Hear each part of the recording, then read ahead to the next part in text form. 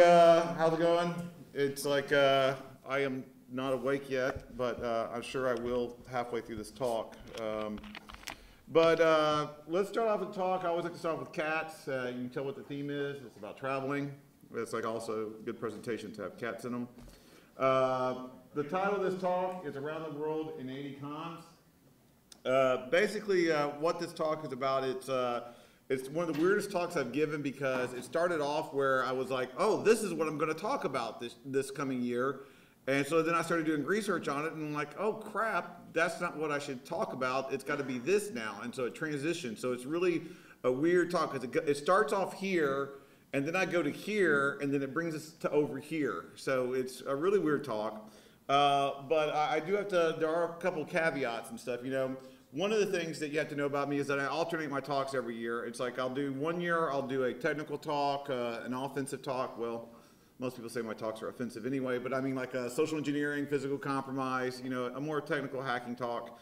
And then the next year, I'll do a rant or something based on uh, defense or blue team uh, but mostly ranting. So last year I did a talk on spear phishing and uh, social engineering and physical compromise. So we know what year this is, right? Uh, and and uh, there's a couple of warnings in this talk. One, for the very beginning that we need to get out of the way right now is my apology, okay? Because this will run long, okay? It's just going to. And I think it's adorable when the volunteers come up with the time signs that say time's up and stuff, you know, several times during it or they walk up to me, it's just going to run long. It's like uh, my technical talks. It's like, and I feel bad, and it's not. Like, and I'm not saying that with pride. I feel bad about it, but I'm very passionate about this talk, and I've never done it under an hour and stuff, you know. And I just keep going. So I'm the guy who screwed up the schedule. I'm that guy, and I apologize in advance for that. Second of all, a friend of mine who used to, uh, who uh, still lives in South Africa, he came up to me after uh, a version of this talk, and he said Jayson, I'm from a very conservative country and stuff, you know, so the only thing I could get from halfway through your talk is, why is the angry man screaming at me? And so I just want you to understand, it's like when I start getting screaming and a little riled up, said, I'm not screaming, you know, at you, I'm screaming with you. So we'll, we'll get that going. And uh, I think that's about it. So uh, those are the, the warnings. Also, just another warning, uh, just right off the bat, is like I'm very cranky in the morning, so it's like it might be a little bit more fire than usual. So uh, this is, it's also, this is the last talk of the year, uh, so I'm gonna just finish it up really quick. Uh, one of the things that you need to know about me, quite simply, is I love to travel. Uh, I don't just love to travel, I love to explore. Uh, that middle picture at the Taj Mahal was taken last week. It's like uh, when I was in New Delhi. It's like uh, I love to go out and see, uh, not just going to the conference and talking to the hackers, but also seeing the culture, seeing how what they're into, what they're interested in, what they're trying to do. But then also, I've spent like over 11 hours walking through the Xidan district in Beijing and stuff, you know, just a complete circle, uh, walking around and stuff, you know, just to see what I could see. Uh, and then there was like a one time I was in Cairo. It's like I walked from the Coptic area all the way up to the Cairo Tower. It was about seven hours. It's like there was a great Pizza Hut on the Nile River, which was like really good. Uh, and uh, and just doing things like that, just walking through, not just seeing the tourist sites, but walking through the streets, seeing the city, seeing the people and stuff, you know, seeing what they're doing, seeing what the culture is, seeing how they're greeting people, seeing how they, they do things, because I just like the culture. Uh, so I thought, you know what, let me do a talk about my travels and about the different cultures in the world and stuff, you know, and how I perceive them. And that's the key thing about this whole talk. The one thing that keeps it all the way threaded together is the fact that it's based on perceptions. Mine, I don't speak for anybody else. Just like Russ Rogers says, I like tacos. That means all hackers like tacos, right? No, it's like you know, it's like it's. It, I'm only going to speak on my perspective, on my perceptions. It's like in what I see. Yours mileage may vary. It's like, oh, we got a little microphone stand thing here. This is for video. I know, but I'm gonna try to see if I can. I need this for. Oh darn! Sorry, man. Get my hopes up. What's up with that? Okay, so we're gonna keep going. Is that one working now? Uh, okay. I, I don't even try to pretend to be professional. Okay, uh, so let's get into the uh, thing right here, right off the bat. And one of the things I want to take off the table right now, when I talk about uh, hacking and I talk about uh, global uh, aspects of it, one of the first things that everybody comes and starts talking about is freaking nation state. It's like and global countries, and they try to bring all that crap into it. Okay, That's not me. That's not what this is about. So let's get this stuff out of the way right off the bat and stuff, you know. So you start about nation states and stuff, you know, you always go back to those breach reports, right? Like here's the Verizon data breach report and stuff, you know. And I'm not trying to call their baby ugly and stuff, you know, because I've gotten some Twitter wars about this stuff, you know. I'm just saying this is some of the data. All I tried to point out was that maybe this isn't everything that's out there. It's like you look at the upper left-hand corner, this was the breach report from 13, and if you'll notice, there may be some areas that are, you know, underrepresented, possibly just a little bit, you know, maybe just not like showing the whole picture there. Well, they try to fix that. You know, their marketing team, I'm sorry, I mean, the research team uh, decided in 14, it's like, oh, you know what? When there's a breach in Hoboken, New Jersey, all of USA. Oh, there was a breach in Wuxi, China, all of China. Problem solved. You know, it's like it's now a more complete report. Except for even doing that creative reporting, they still didn't get everything. I'm sure there's, I mean, there's got to be like a couple computers in Mongolia. Come on, seriously? It's like they've got Wi Fi. It's like they're very mobile people. I know they've got some hotspots going around. It's like, you know, so it's like they go and they, they do that, and they, they do this report, and they try to show that they're trying to get more data. And they're not the only ones. It's like you've got TrustWave right here, upper left hand corner from 13. Once again, uh, not the greatest representation, but in their favor, they've got pi, because, you know, we all love pi. So that's awesome. It's like, uh, so they, they got that one. And then in 14, once again, they're trying to change the fact it's like showing about how much they represent and how much data they've got. They decide to invite everybody to a rave, though I don't think I was cool enough to get into this one. It's like, because, I mean, that's exactly what it looks like to me. It's like, I think that little ball with the green thing is supposed to be the Earth after a seismic shift of cataclysmic proportions. Uh, but yeah, that, that's data there somewhere in that and stuff, you know. So that's the report, and that's how they try to show that data. That's how they try to show, like, hey, this is what's going on, this is what's happening in the world. One of the best sites, though, when you talk about breaches and you talk about attacks and stuff, you know, is hackmageddon.com. And one of the main reasons why I like hackmageddon.com is, you know, first thing again, you know, pie. But second, it's got the flags on, on, on the little pie slices. And let's face it, we're in America. The only time we know about other countries' flags is when we're invading them, right? So it's refreshing to see that before it happens. So we actually get to see flags, you know, other than that. So that's awesome. So it's like, but one of the best things about the site is this right here, the disclaimer, where the guy says, Again, no need to repeat that data must be taken very carefully since they do refer only to the discovered attacks, the so-called tip of the iceberg, and hence do not pretend to be exhaustive, but only aim to provide a high-level overview of the global cyber landscape. That is such an awesome disclaimer that I'm going to overlook the use of the word cyber in it, okay? It's just, it's just that good. Because he's saying, this is what I see. This is all that I see. There's totally, definitely more going on, but this is my representation of what I've got. And I thought that was very honest, and I thought that was a very good site, and he's got some really good data. It's not all the data, but it's something. It, it gives us a facet of it. Uh, more sites are more technical, and they try to use their data that way.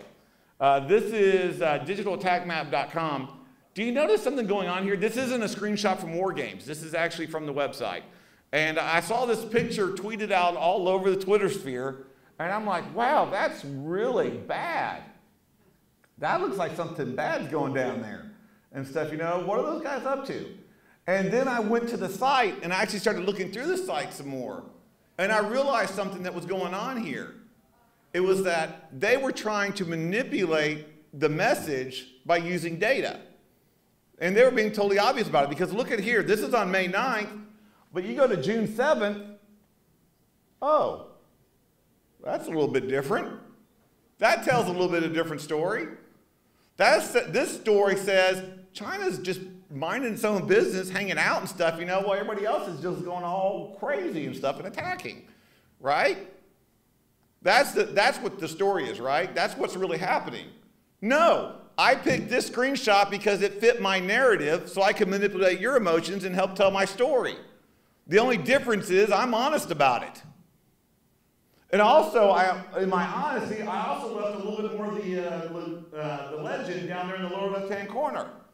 Because if you notice, the legend says when it's radiating outward like that, that's an internal attack. So that means all this stuff in the, in, uh, around the United States is internal. That's US on, U, USA on USA violence right there going on. That's what's happening there. But that's not what the story looks like. But for some reason, this picture didn't get tweeted out all over the Twitter sphere. Because of nobody's narrative and stuff. You know, that doesn't sell firewalls and blinky lights, right? No. So, uh, speaking of selling firewalls and blinky lights, we got to mention, you know, the Mandiant report, right? I don't know at what point and stuff, you know, when uh, Richard Bejtlich was a young boy that China came over collectively and stole his lunch money, but it hurt him really bad.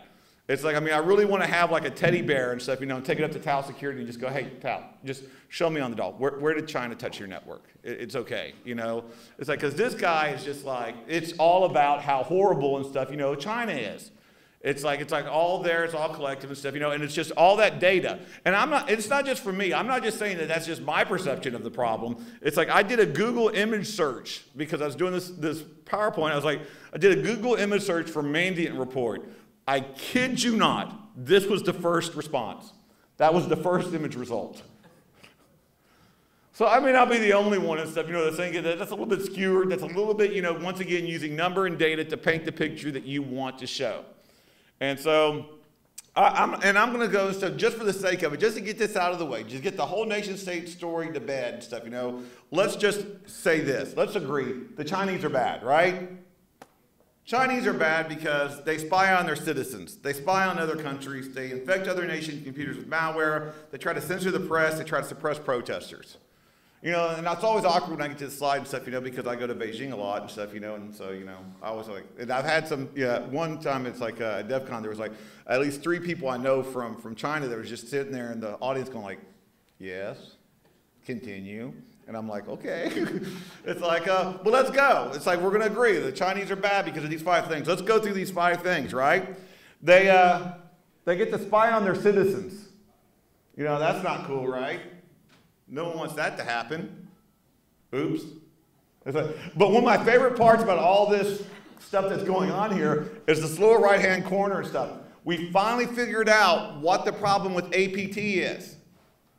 No one's apologizing. See, the CIA does it, but they apologized afterwards. So it's all cool. It's all good. You know, it's like, sorry, oops, my bad. You know, it's like, we didn't mean to do that. See, so now every other nation state, if you realize and stuff, you know, after you hack the government servers and stuff, you know, send an apology letter, we're cool. We're all good after that. See, so that's, I think, one of the biggest things that they're missing.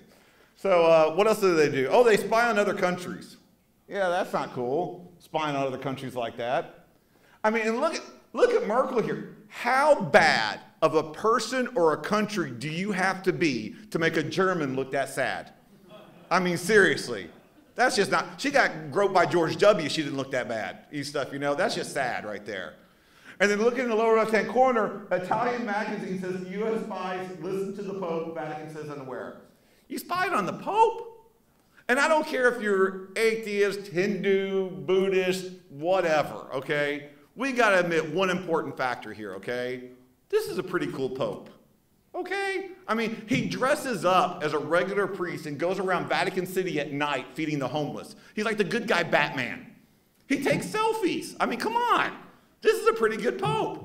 Now, that other guy with the red shoes and the hat, he looked a little sketchy. I could totally understand that, okay? But not this one. This one's a good one. Let's keep this one, right? So it's like, so it's like, so they did that. So that, that's not cool. But I mean, at least, you know, you're thinking, well, you can't say nothing about uh, infecting other countries with malware because that's an act of war. And uh, actually trying to implement you know, changes into another uh, country's uh, control systems, that would be horrible.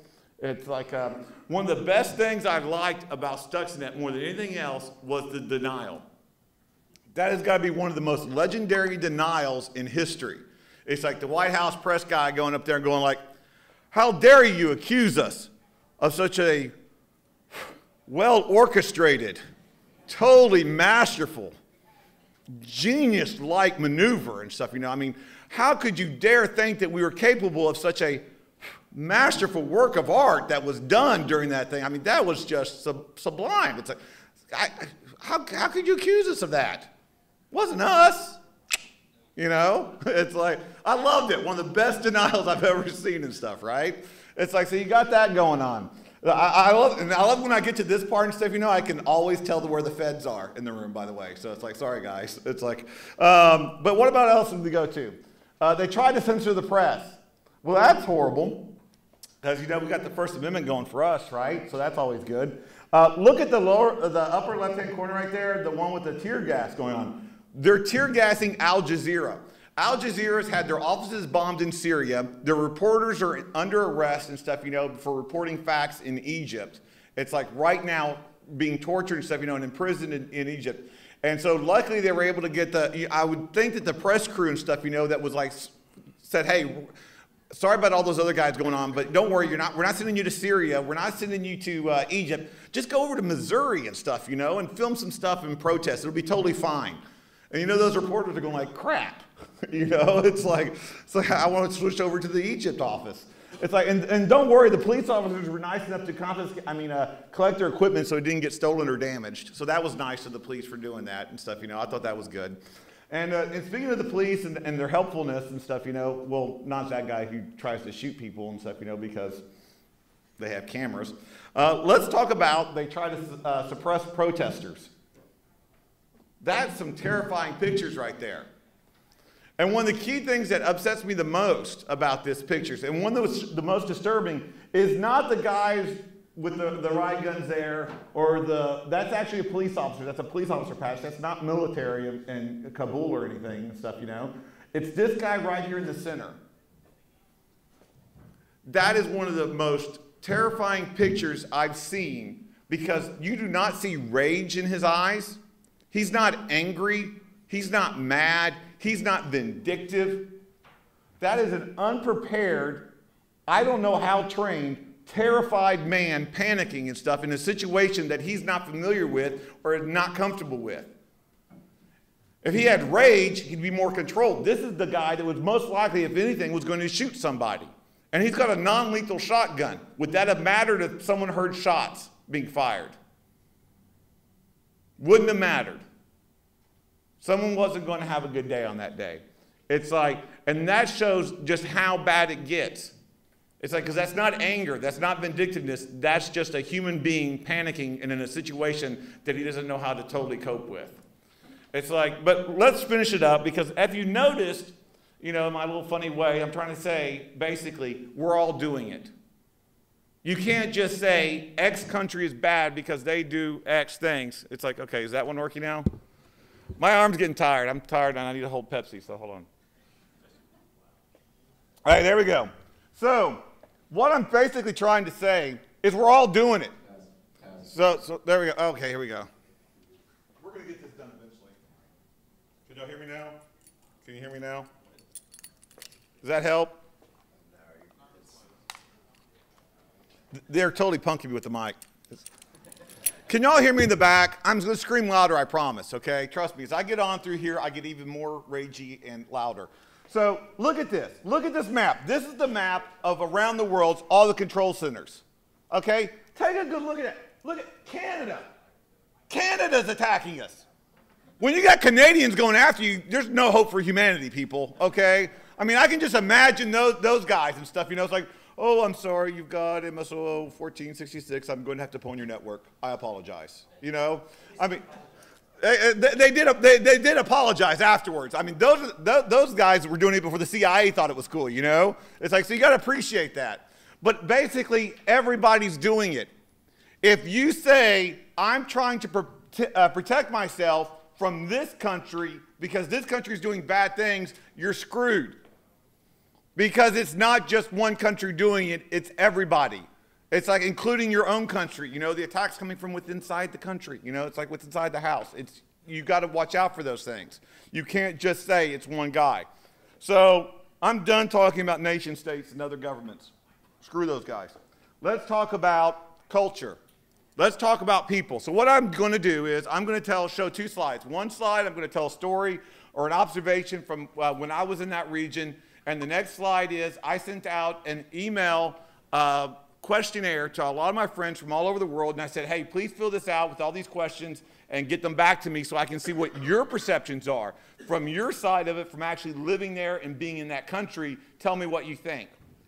And so that's what happened. And, and this is also when the story started to change right here, because uh, let's start off with Asia.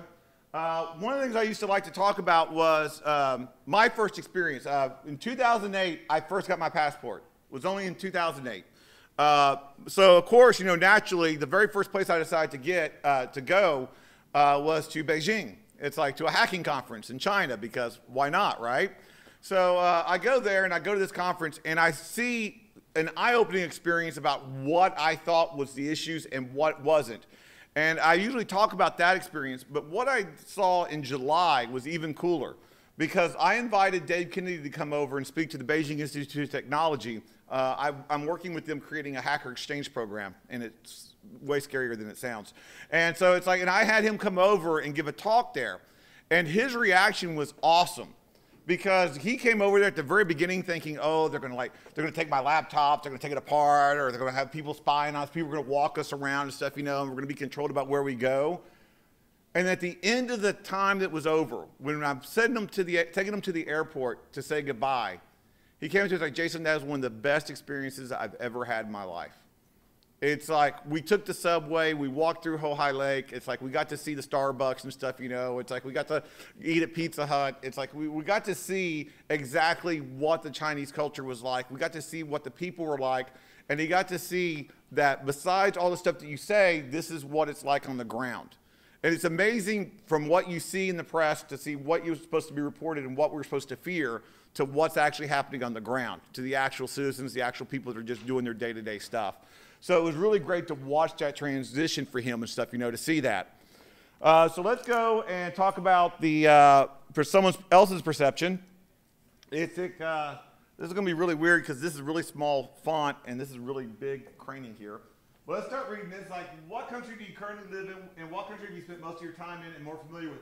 Uh, these aren't all the questions, but these are like the top four questions I wanted to use to help fit my narrative. So we're going to use these questions. He says, I currently live in China. I spend half and half between the U.S. and China. How did you find out about hacking? I love this answer. Just a simple thought. How can I get unlimited game golden rice at the beginning that I can beat Romance of Three Kingdoms? Which I think is awesome because, I mean, let's face it, I play World of Warcraft and I hate freaking going on those freaking quests collecting dragon eggs when I just need to freaking just, you know, go kill stuff, right? It's like, who wants to do that? So he was like, yeah, that's hard. It's like, I want to just have fun. Let's see if I can just hack the system and stuff, you know, and get my stuff all ready for me. So, you know, that was honest answer. I thought that was a good way to start learning to hack. In your region, how is hacking seen uh, by the general public? Overall, it is still trends toward negative. Public lack of understanding, even people accepted hacking as a skill, a method, but most of the people stay away from it. And this is China, you know, the land of APT, right? It's like, and this is one of the most nuanced answers that I got uh, at the end, is hacking in your region seen as more for crime, hacktivist, nation state, or other? Public media defines it. It depends on official needs. Today it may be a crime. Next day it becomes national heroes. Someday it is a technical challenge. Like most of the place, it is a mixture. Some of criminals can be used for national interest, Cebu, and um, under certain control, uh, like giving them a list of 30 countries they can hack. Uh, official security workers may conduct activist or crime in his or her leisure time, Snowden. Uh, some can be hired for overseas interest.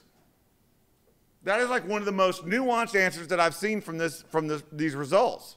It's like, and this is from, uh, from China. And so I thought that was really good. I thought that was a, a really uh, a good response, a really nuanced response. Um, so let's go to the next one. Let's go to uh, Europe. Uh, one of my favorite conferences in Europe is uh, Hack in Paris and Nuit du Hack. Uh, they, they, uh, Hack in Paris is like the Black Hat. It's like on like Tuesday through Friday, and then Saturday is the Nuit du Hack. Uh, it is actually translated to Night of Hacks. They start off at like 10 o'clock in the morning and they have talks, and, for, and it's this huge hangar and stuff, you know, and Euro Disney. Yes, at Euro Disney. It's like there's this huge hangar of like 2,000 hackers, and they give talks up on stage up until around 7 p.m. And then from 8 p.m. till 8 a.m., it is capture the flag, Wild Wild West, just teams from all over Europe uh, doing this challenge, the CTF. And then at the same time they're doing the CTF, they've got workshops for lockpicking and drones and VR and, and hardware and 3D printing and just maker, just all these wonderful times to network and learn and just and, and socialize until Sunday morning. It's awesome. It's like a distilled 24-hour DEF CON. It's great. It's like, uh, and, but the, I do have one complaint, and one of the creepiest moments of my life uh, was because of Nuit du Hack. Because, you know, like I said, they're at Euro Disney. So there is nothing more creepier than being a guy like me in a black hoodie with sunglasses on, with a big silver suitcase with all these hacker stickers on it and stuff, you know, waiting at the Charles de Gaulle airport by myself, waiting for the Disney shuttle.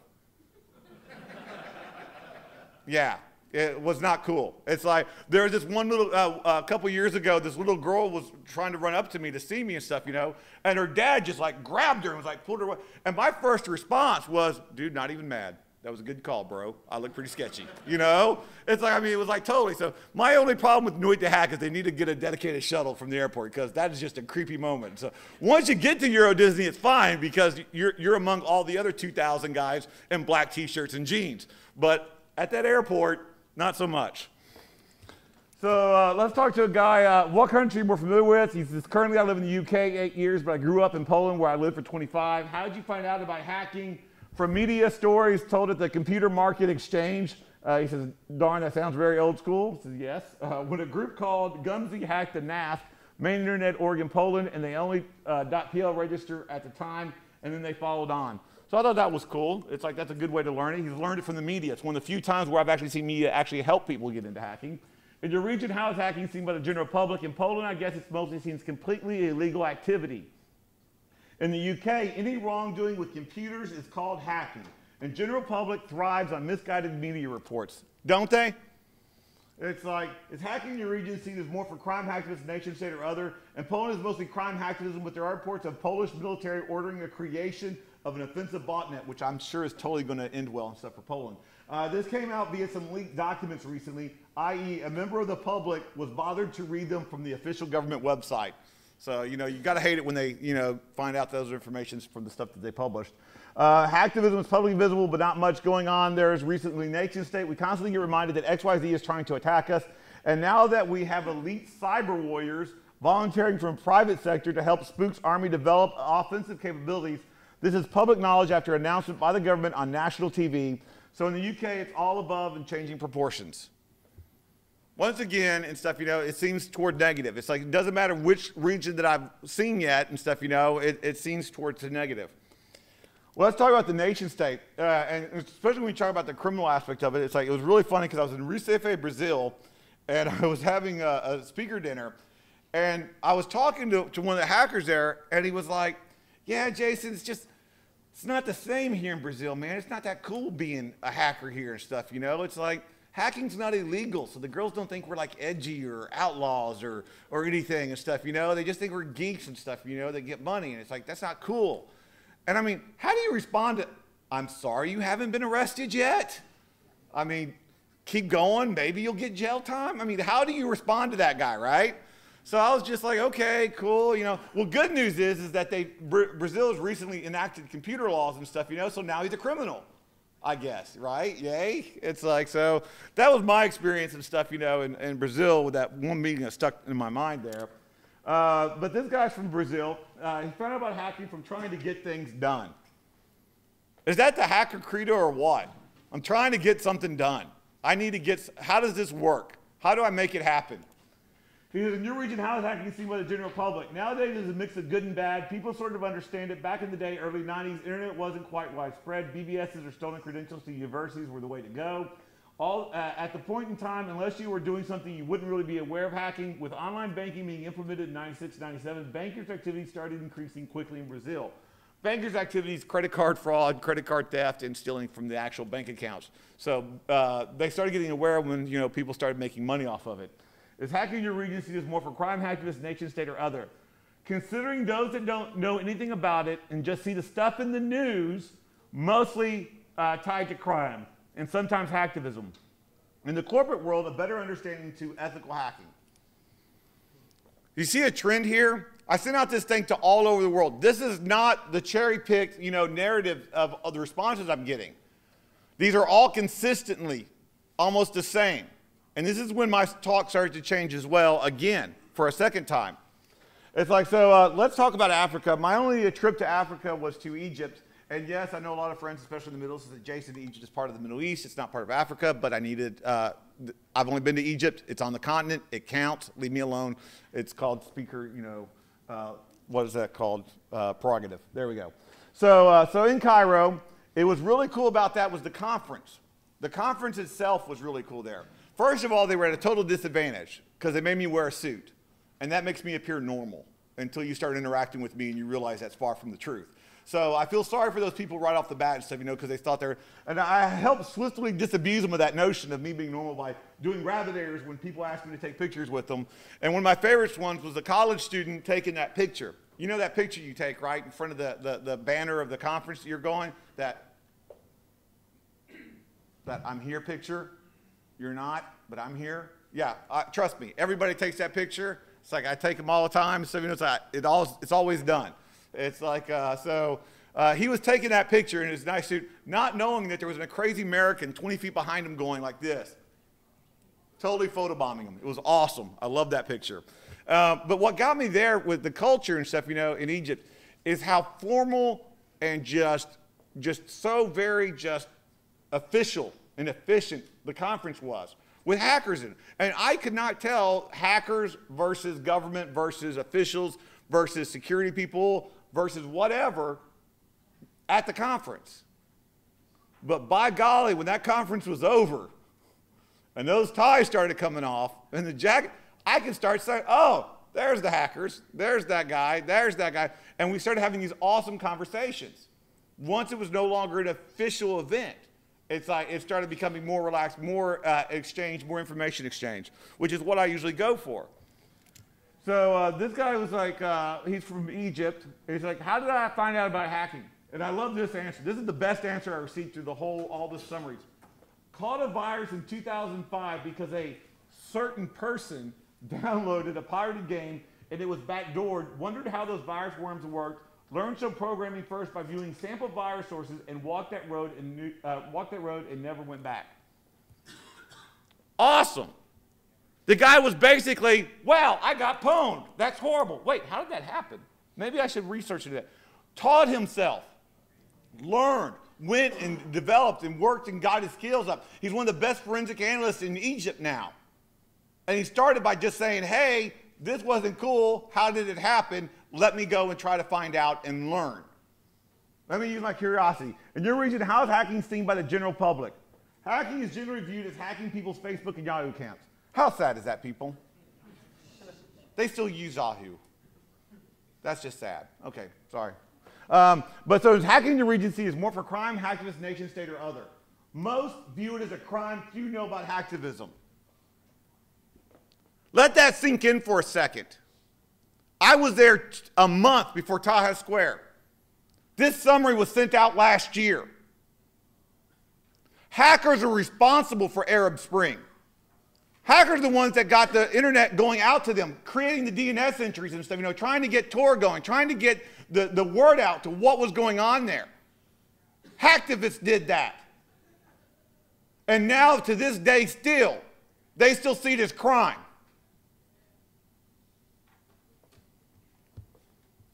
Well, let's uh, talk about the Middle East now. It's like uh, I go to uh, I go to uh, there every once in a while and stuff, you know, and uh, break into places and do bad things. Uh, but also we have some friends there. And it was on one of these times where I was actually with a friend. We were in Beirut, Lebanon, at this coffee shop, and my friend's friend was like, he pulled up his laptop. He said, "Hey, you want to see something really cool?" I'm like, sure. It's like, you know, sure, show me something cool. It's like, so I thought there's gonna be some new LOL cat pictures or something, right? And he opens it up, and it's the interface, command interface for the national telecom system. And I was like, cool. He's like, yeah, I'm admin on it. Nice. For the last four years. Oh, it's like, and I was like, and so my question was like, so you have, uh, so you, you get free internet now? You got free phone? It's like, are you listening to other people's calls? It's like, are you a little mini NSA? It's like, what do you do? He's like, no. He's like, I mean, the look on his face was just like, why would you even think that? And he's like, no, I don't do anything with it. I just have admin rights. I just, I just boot it up every once in a while and stuff, you know, just to make sure I'm still admin on it. That's all. I'm like, okay. it's like, it is like the wild, wild west out there. It's like, I mean, they, there's no concept of, of just the hacking side. It's just more exploration just to see what you can do. And the wireless there, it's like, uh, it's, it's the internet there is, is totally different. So let's talk to a guy from Lebanon. It's like he found out about hacking through BBS and the MIRC, you know, Windows user. In your region, how is hacking seen by the general public? There is a huge lack of awareness. Also, lack of exposure to more evolved countries hacking wise, and just recent high speed connections made it difficult for young people to grow up with good access to that culture. There are no landlines in Lebanon, hardly any. It's like if you're in, you carry your internet in your pocket with a 4G or 3G hotspot. It's like that's where mostly all their internet comes from, is through mobile units. Uh, is hacking your region seen as more for crime, hacktivist, nation state, or other? Again, the lack of awareness results in people just hearing about hacking on the news. And since media just reports on cyber criminals, that is the way they see hackers in general. Once again, I like the way he's, he's, he worded that. It's carefully worded that. Since media just reports on cyber criminals, because that's who they are. It's like, but that's what the perception sees is people sees hackers in general. So let's talk about the U.S. It's like everybody know Bruce Potter. It's like uh, from ShmooCon, G-Dad. It's like I, I, I love I love Bruce because he's like one of the only persons that I will go and give non-consensual awkward hugs to because he runs the farthest and stuff. You know, it's harder to catch him, so I make sure it's worth it. Uh, and so, uh, and this is uh, that one was actually taken at ShmooCon uh, a couple years ago. Uh, one of the, the conferences I like to talk about in America is there, there is there are a lot of great conferences here. It's like I mean you're at one of them right now. It's like but DEF CON, DerbyCon, ShmooCon are like to me, like the main points of my family reunion. Uh, but DEF CON, of course, being the DEF CON fanboy, it's like I have to say, uh, 10 years ago, I wouldn't be here right now speaking to you if it wasn't for DEF CON. If it wasn't for a fact of this conference not giving me a chance, because trust me, I totally screwed up my first chance. I was a total dweeb, noob. It was horrible. It's like they gave me a second chance. It's like, and that's what made all the difference. It's like they're giving me that second chance to, to actually show what I can do, what, I, what, what I'm capable of, and creating a network of friends and family that I still know and keep to to this day. I, I talk more and know more about what's going on with most of my hacker friends from around the world than I know what's going on with my family in Houston and stuff, you know, which always makes Thanksgiving awkward, which is next week, so, which I fly back to. So, uh, but yeah, that's my family. And it's like, and this is my family, this is my culture and stuff, you know, and that's why I, I talk about this and this is why I'm passionate about it. is I don't just see it as a community. So, um, what country we're familiar with? USA? America. Uh, how did you find out about hacking? Uh, first experienced it with my roommate was talking smack in AOL chat room. I always chuckle at AOL. Uh, hacker changed my screensaver to immediately scroll, you've been hacked, which is the surest way of figuring it out, as soon as the mouse stopped moving. In your region, how is hacking seen by the general public? Negative for the most part, we are demonized and publicized as criminals. Is hacking your region seen as more for crime, hackers, nation state, or other? Crime to the public's eyes. This was not my talk. My talk was supposed to be about how Malaysians really like hacker spaces and they create hacker spaces and, and, and 3D printing and trying to make things and do maker uh, spaces. It's like my talk was supposed to be about how the Germans are into encryption and privacy rights. My talk was supposed to be about the Brazilians and the cars. My talk was supposed to be about the diversity of this culture, the diversity of this community, but instead I found one uniting thread that united all of us. We're seen as criminals. And I'm not happy about that. And you shouldn't be either. Because this is who we come from. These are hackers. We are artists, creators, and inventors. Alan Turing on the left, the godfather of cryptography, saved thousands upon thousands upon thousands of lives during World War II, helping break the Enigma machine. After the war, his social lifestyle led him to castration and then suicide. That was the thanks for his service from his country. Nikolai Tesla, the godfather of open source. We are bereft of so many of his inventions and discoveries because of the simple fact he didn't want to make a profit on it. So corporations wouldn't back him. So they gave that to freaking Edison. Screw that dude. It's like, but that's Tesla. His reward. The greatest love in his life was a pigeon he uh, nursed back to health in Central Park. The maid found him two days after he died in his hotel room alone. That was his reward. Ada Lovelace, the first computer programmer. You know this whole women in tech debate, you know, uh, hacker feminist Barbie and stuff. You know, let me put this whole debate to rest real quick, okay? Women started this industry, they led us into it. Done. Into discussion. Her life story ostracized by her family until she uh, died from the treatment of cancer, not the cancer itself. And yes, I could talk about Grace Hopper, you know, or I could talk about Leonardo da Vinci, because those were uber hackers. But they actually did pretty well. You know, Leonardo da Vinci was surrounded by friends and family. A prince gave him a mansion to retire in. It's like he died with relatives next to his bed. He was very well loved and respected even to this day. Grace Hopper had a destroyer named after her. It's like Rear Admiral and stuff, you know. It's like one of the most uh, decorated and, and commandeered woman and stuff, you know, created the whole thing about debugging and stuff, you know, by finding a moth in the computer. Her life was totally freaking rocking. It's like, and that doesn't fit my narrative, and I'm trying to manipulate your emotions. Okay, once again, you know, I'm honest. So, uh, so let's not talk about those guys. Let's just center on these other guys, right? Because that's the way hacking is seemed. My question is, when did we become the villain in the story? When did this happen? 200 years ago, we were inventors and creators and artists, and now we're seen as this. What happened 40 years ago? Let's look at some criminals from just 40 years ago. Some actual cyber criminals, some computer criminals. Let's look at these guys. These criminals actually gained, uh, they somehow got access to an administrative password, they stole it, and used it to steal the company's internal accounting file Alan doesn't go into details about how they got the password. They were hoping to decrypt the file to get one of the free accounts, but they got caught and the company booted them. What was their punishment? What was Bill Gates' punishment for that? That criminal got his access revoked, his free access revoked. And our punishment was we got Vista. But you know, it's like that's how that worked. That's how these criminals worked.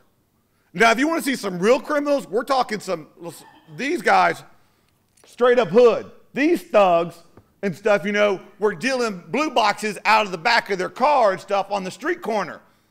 They were slinging that tech to anybody that wanted to pay for it that was used to actually officially defraud a company for the profits that they deserved for the services they were providing. These criminals hated telephone companies so much that I'm presenting on an iPad right now. You know, how many people are tweeting right now with their iPhone? About how much Steve Jobs hated telephones. There you go. That's what happened to these criminals just 40 years ago. What happened four years ago? In 2010, another young man who'd already founded a multi million dollar company, he already made his money, broke into a utility closet at, at MIT. He hooked up a laptop to the campus network and downloaded 4 million academic journal articles, most of them in the public domain. They were already free, from a paid archive to which he had an actual subscription to. He was arrested, and indicted twice on multiple counts of fraud, and in a trial that would have begun in April, could have faced 50 years in federal prison and a $1 million fine. His name was Aaron Swartz, and the government hounded him to death. Period. That's how the criminals are treated now. That's not acceptable. Let's look at some sentencing I'm not going to talk about who was right or who was wrong. I'm talking about numbers. Jeremy Hammond, 10 years for hacking. We got 10 years for hacking. He got overturned because finally someone realized and stuff, you know, doing automated, uh, you know, URL transversals and stuff, you know, really wasn't a crime. You know, the whole wget is not a crime thing. Max Ray Butler, 13 years for hacking. Roman Vega, 18 years for hacking. Albert Gonzalez, 20 years for hacking. Justified or not, Let's look at some contrast. Malik Richmond, one year for rape. He's already out and still on the high school football team. Uh, Trent, uh, Jared uh, Becker, one year for involuntary manslaughter of a firefighter doing his job. Trent Mays, two years for rape. Seth Hornberger, three to six years for voluntary manslaughter. Got a good lawyer to plead down. Jessica Ferraccio, five years for murder of a 23 month old toddler. She was babysitting him, bashed his head in. I tell people if you want to commit a computer crime, you better have a dead body next to you so you'll get a lighter sentence. and that would be funny if it wasn't so true. And I had a guy come up to me and talk to me after a conference. He said, Jayson, you know, one of the problems is, is that it's, it's not this stuff, it's, it's just that we're used to murder.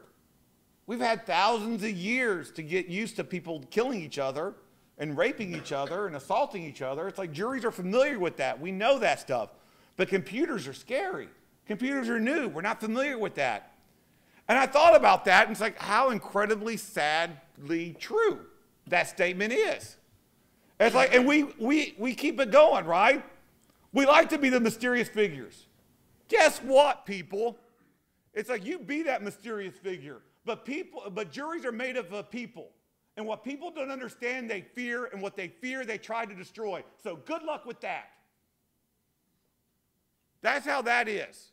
And that's the situation that we're at now. And how do they get those symbols of fear? How do they become so mysterious? How do we become these, these shadowy figures of doom? These guys. Look at these guys right here. It looks like the freaking Nazgul coming after me. I want to throw a ring at it every time I see the picture. It's like, seriously, Frodo. It's like, and then look at all these other pictures. I mean, how horrible is that? I, I tell you, I, li- I have a computer room that's got its own separate air conditioner. Okay? That room is nice and cold. It has never been so cold and stuff, you know, that I needed the hoodie and the ski mask at the same time. Okay? That just never has happened. And I know people, some say that's like, well, they use the, they wear the ski mask and stuff, you know, so the webcam won't be turned on and they can see them. So, dude, you're probably working in Linux. The webcam doesn't work anyway. Give that up. Okay? it's like, that's just the way that is. So it's like, so this is what, but one of the things, once again, we don't like the public de- demonizing us this way. We don't like the press representing this way unless we're the ones helping with that image. And, so, and I told Mikko, I love Mikko, he's a great guy, but I, I told him, it's like I had to put him in here to make fun of him because those other three guys are probably Mossad and they scare me. So we'll just stick with making fun of Mikko and stuff, you know, because they actually perpetuate this. Because remember, I, I'll tell you a secret, guys. In high school, I wasn't one of the cool kids. I know that's hard to believe. Junior high, I really wasn't one of the cool kids. It's like element, okay, I was never one of the cool kids, ever. But now we get to feel that way. We try to live up to that hype because we want to be seen as the cool kids now. We want to be seen as that mysterious figure. They're using it against us. Sometimes, though, we can have a good counterpoint. That's what I love about the hacker creativity. Because this guy, Chris J, actually decided for Halloween he was giving out candy on his doorstep dressed as a hacker and stuff, you know, a stock photo. Had the ski mask on, the computer. His Raspberry Pi was running Kismet, actual Kismet, at the doorstep as he was giving out candy. I thought that was awesome. A nice college representation of the booth was actually, is your network safe from ski mask? So I thought that, and hackers are really good at responding. It's like we're good at trying to respond. So, you know, maybe not as much as proactive as we should be, which is part of the problem, but we can respond if we need to. One of my favorite uh, responses is from this article right here. Uh, Glenn Beck criticizes Watchdogs for promoting hacking. What the heck is wrong with us? What the heck is wrong with him? And I, and I just got finished from saying this in like San Antonio, Texas and stuff, you know, the reddest of the red state. But I still stand by this statement to this day. Being on the wrong side of Glenn Beck is being on the right side of history, my personal opinion. So it's like, so I, I just thought like this is just overblown saying and fear mongering. But that was my response. Well, here's another response, which I think won the internet for this day, was Johnny Bravo actually wrote, tweeted out, I hear Watchdogs teaches you how to hack, going to expense for educational training purposes and submit for CISSP creds. Once again, that is one of the best responses I've seen. It's like hackers know how to respond. It's like give us, uh, give us a time, we'll respond to it. Because we need to respond more. We need to interact more. A perfect example is Sterling Riggs Jerkoff. Uh, this is Sterling Riggs Jerkoff. I get to call him that because we're friends. And this is what he wrote, and I'm going to try to say in his voice so you understand. He says, I don't know how I feel about this DerbyCon happening at the Hyatt downtown. It's a convention for computer hackers. Sessions include password cracking, hacker war games, and a lock-picking pavilion. Thoughts? Well, it's the internet. There were thoughts, right? Never read the comments, people. It's just one of those things. Here are some of the comments. Greg Troutman, the LMPD and FBI should break the convention and arrest the people who are doing the training. They were in training, you idiots. It's like Michelle Perry Richardson, scary. She was scared. There's four exclamation points. Freaking Darcy Fraser, so terrified she could only use an emoticon. It's like Connie I bet no arrest, more like employment opportunities. Some really good ones, thank you for asking. Jenny Smith, wow, that's insane. Did you read the rest of the comments, Jenny? It's like Sean Goodman, what about classes on mugging, car theft, and whatever witty else thing he had to say? Brenda Newton Rowe, Sean, that's next week, LOL. She's the funny one in the group. Amber Nicole Sissel, I think it's stupid. You didn't capitalize I. I think you're stupid, Amber. And Jensen goes, arrest them all. Seriously, I thought the targeted Facebook ads on this thread would be for pitchforks and fire. But guess what happened instead? Iron Geek, Adrian Crenshaw, he saw this. And so he tweeted out to all those lonely hackers in the airport waiting to go home from DerbyCon, say, hey guys, y'all should check out this thread and comment on it and stuff, you know, and, and, and add your stuff. And we're hackers. We love to comment, right? and so that's exactly what we did. And, and yes, I, I have to be, once again, I have to be honest, there was some trolling. A little bit of trolling, okay? 90, okay, we'll go 90% of the comments, though, were educational, were informative. We're trying to teach the people in there that were fearing us what we were about. Trying to show the people, no, this is what it was done. We're trying to learn about these vulnerabilities. We're trying to learn about these things so we can better defend you and protect you. We're doing this because we need to try to protect the internet. We need to try to protect your systems. And if you're not, if you don't know where the threats are, how can you fix them? So Sterling Riggs Jerkoff did the only responsible thing a journalist can do when it no longer fits his narrative and the story no longer uh, goes to what he wants to say. He deleted the whole thread. Those are the only three screenshots of it in existence. Because it's gone now, because it didn't fit his story. Hackers weren't being scary enough for him. Hackers weren't being antisocial enough for him. Hackers weren't being criminal enough for him.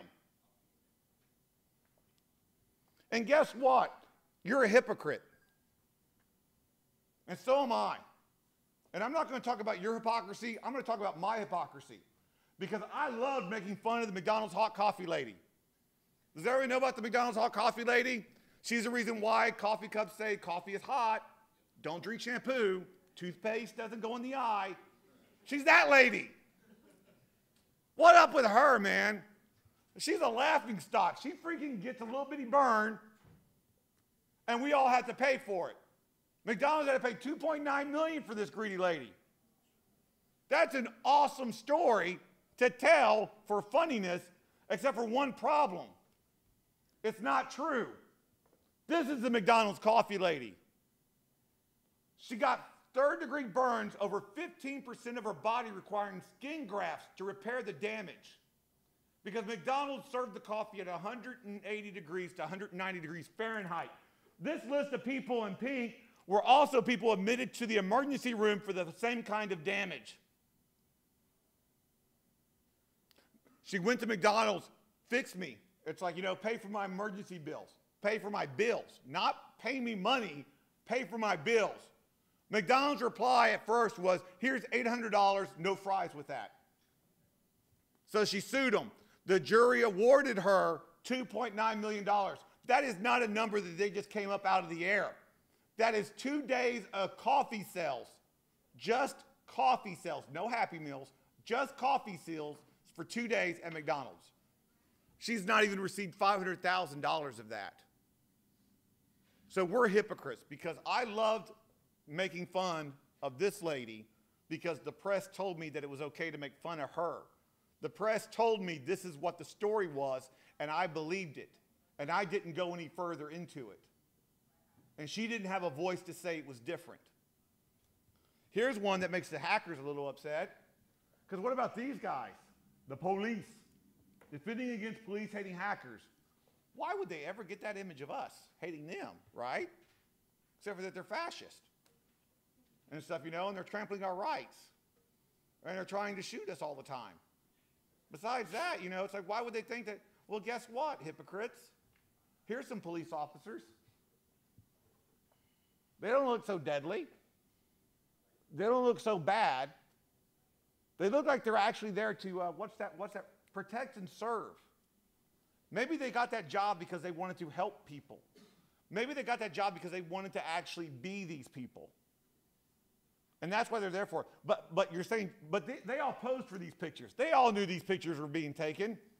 What happens when you see them when they don't know that they're being taken? Let's show some pictures of when they don't know when they're being photographed. Like when they're buying tennis shoes for a homeless man, when they're carrying the groceries for a paraplegic and stuff home for them, when they see a lady and her family in the rain and they put her in the back of the police car so she won't be wet. It's like when they go and find out that a guy who was delivering pizza for his job and stuff was in a car accident, they delivered the last pizza for him. They didn't pose for these pictures. They didn't want these pictures taken. They didn't know they were being taken. They were doing their job. They were doing what they were called to do, helping others. That gentleman right there in the middle, the last thing he did on this planet was feed that child, walked out of that restaurant, and was killed not because of who he was, but because of what he was. Because that's part of his job to take that bullet. So a normal citizen wouldn't. Those are police officers. There are over 800,000 police officers in this country. You show me a pool of 800,000 doctors, and you show me that they're all good. You show me an 800,000 pool of uh, firefighters, and you show me they're all good.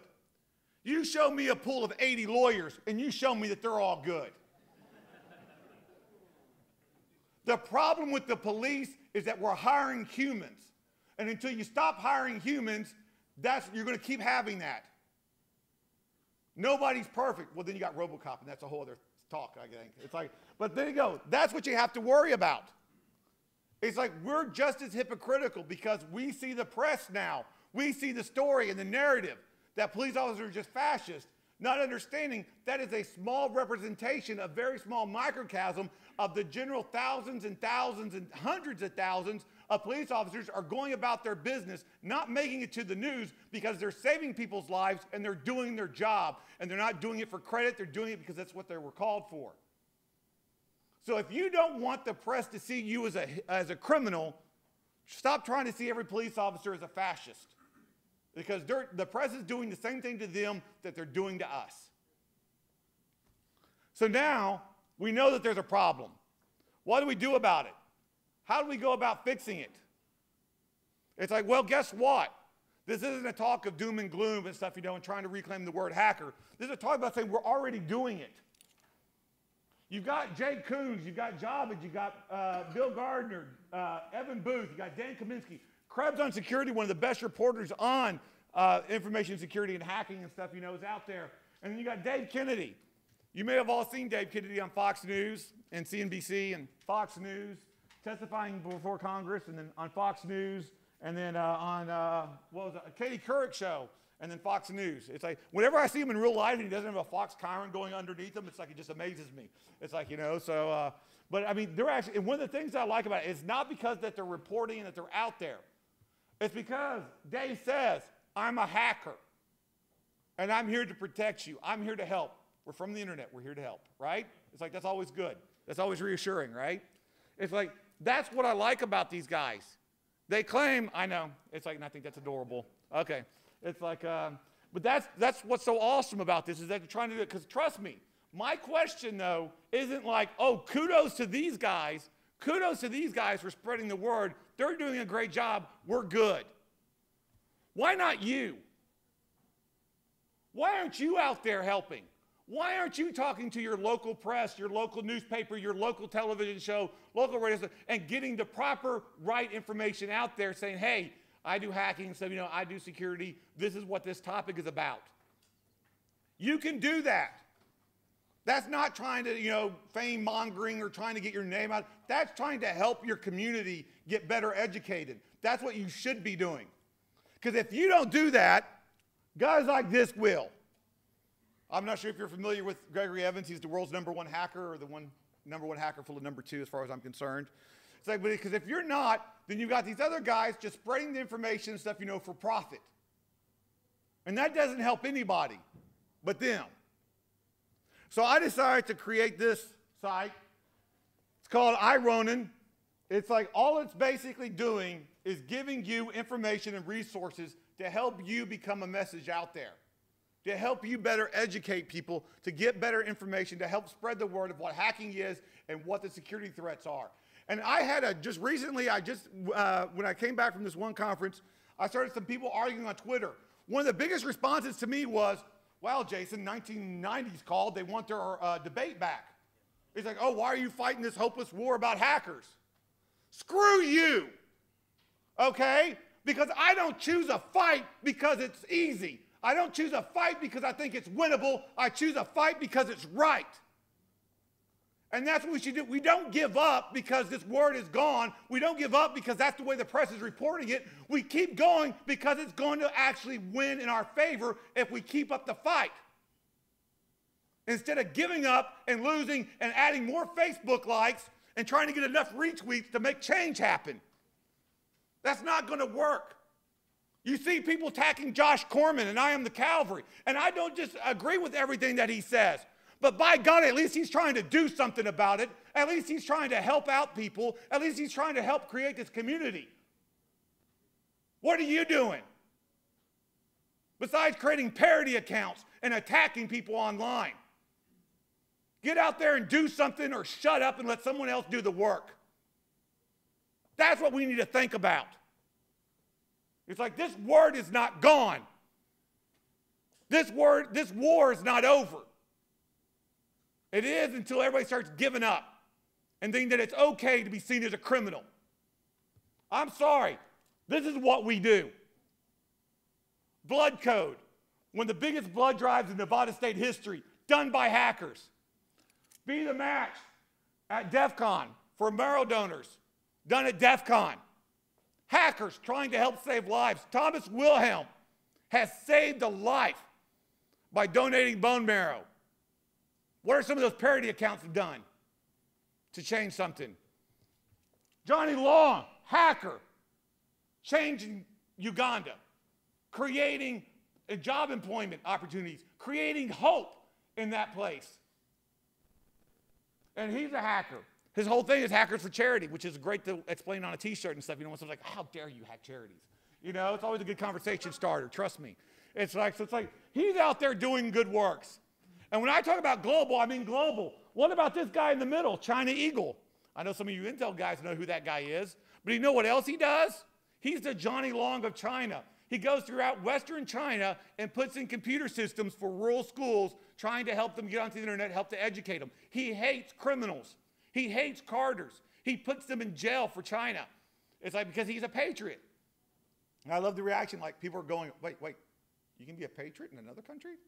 They have those? Is that cool? You know, it's like they do. He's a great, upstanding citizen, a great person. He's just, you know, playing for the other team, I guess, right?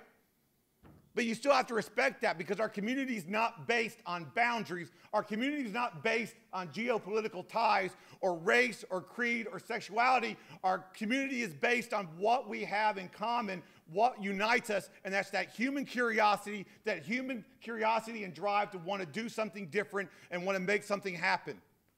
That's who we are. That's what our community should be about, not by uh, the weird, stupid things about imaginary lines on a planet. Here's some other hackers. Dual Core, educating the masses through his music. You got Eddie the Yeti with his art saying, I'm a hacker. I break into buildings for a living. But look at all the cool art dude. And he doesn't just do regular art. He uses organic ink and materials and stuff. He hacks art. It's like he uses soy sauce and all these other mediums and stuff to create his art. Fabs, once again, she hacks the machine. She hacks sewing machines to create different patterns, to create QR codes, and she creates a human genome on a, on a scarf. It's pretty awesome. It's like, that's a hacker. And you got Hacker Strip in India. It's like a freaking FUD, FUD selling fraudulent Tor box and stuff, you know, on Kickstarter gets over $50,000 in less than a week they're asking for $10,000 on Indiegogo to create a graphic novel to help educate people and teach people about hacking through cartoon forms. They haven't even gotten to $3,000 yet. Because people want the fraud box because that makes them feel better. It's like, so this is what the people, these are hackers out here doing what they do. And we have to do that because trust me, if we don't, who's going to? Because we've got people like this out there. Hackers are breeding. I know it's a, you know, a funny thought and scary thought, but we're actually creating offspring, okay? And, and do you really want your child to be in a world and stuff, you know, where when, you, when they tell their schoolmate that my dad's a hacker, my, uh, my mom's a hacker, and they say, well, hacker stole my dad's credit cards. A hacker stole my mom's email. Do you want to live like that? Do you want your children to be able to see that? And that's wrong, and that's on us. Because one of the biggest problems we have is we like to think we're special. This thing says future hacker. Wrong. Born hacker. We were all born with that curiosity. We were all born with that innate ability to say, what if? It's like, I am sorry to tell you, you are not a special snowflake in this special snowflake blizzard, people. Hacking is part of who we are. It's in our DNA. It's just what we do. And until you stop trying to be that special one and making those people feel like they're not because they don't do hacking, and instead start educating them and telling them, you're just as a hacker as I am. You just don't do something with it the way I do it. You do it this way or you try to do it this way. It's like you're still just as much as a hacker. They're still going to see us as the odd ones. They're still going to see us as the outsider. And that's something that we need to change. Because these are hackers. It's like, look, this is how it starts. It's like this young lady in the lower left hand corner's grandfather has Parkinson's. So what did she do? She created a cup he can hold and drink without having to spilling it. It's done so much, it's being mass produced now for all Parkinson's patients. This, uh, this boy up here in the upper uh, corner and stuff, you know, uh, grandfather has Alzheimer's. So he created a revolutionary product for them. It's like uh, right here is Reuben Paul, eight years old, presenting in New Delhi at a conference, getting shell through Metasploit and SET on Kali Linux and stuff, you know, on a Windows 8 machine.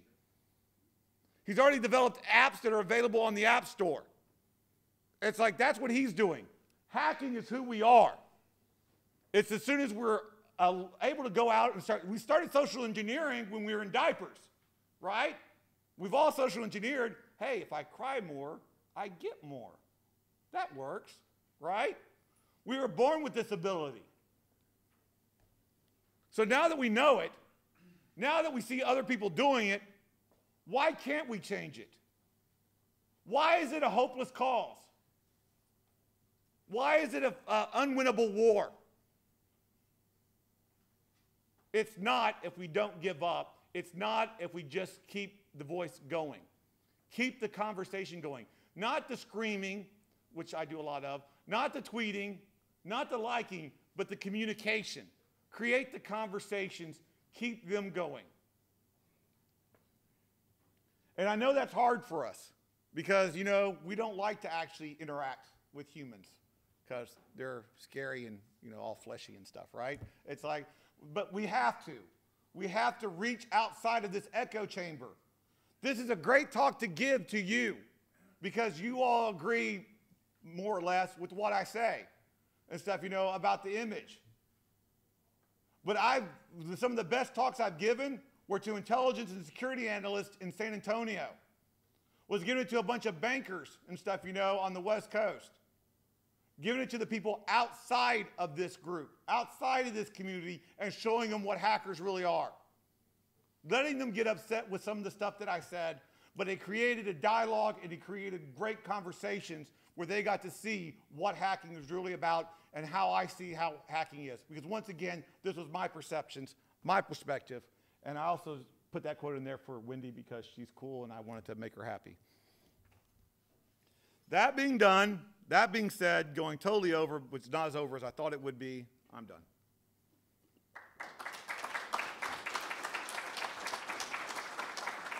I start? Uh-huh. Give that for a giveaway. Okay. If you just